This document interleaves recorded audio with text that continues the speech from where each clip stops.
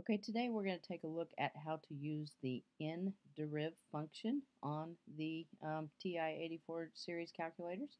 This is one of four features that you will have to know how to run if you are planning on taking the AP calculus test.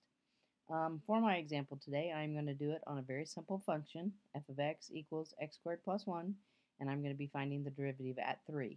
All right, um, purpose of doing a really simple function in this a video is just strictly to show you how the overall nDeriv function works.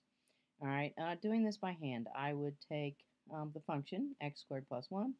I would find the derivative and get a 2x. And then finding the derivative at 3, I would plug 3 in and would get a 6. All right, so using this function on the calculator, it should return a value of 6. Okay, so let's come over here to our calculator. First thing we're going to need to do is pull up the nderiv function. You will find that located in your math um, menu here.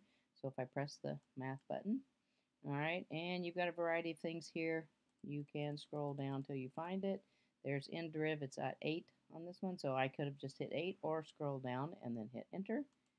And our nDeriv function comes up. And as long as you are running math print um, in your the calculator that you're using, then you will see it look just like this.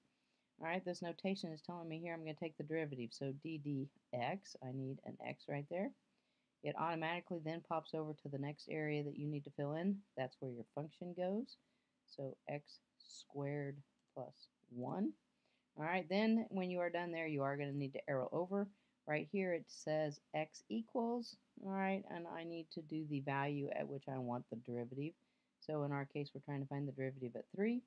So I'm going to put in a 3 and then I'm going to hit enter and it does return a value of 6. All right, very handy feature uh, when you're taking the AP Calculus test because in the, um, something like that, the functions are going to be much more complicated and you're not going to have to uh, do this by hand. It'll speed things up. So uh, thanks for watching, and if you like the video, go ahead and give me a like.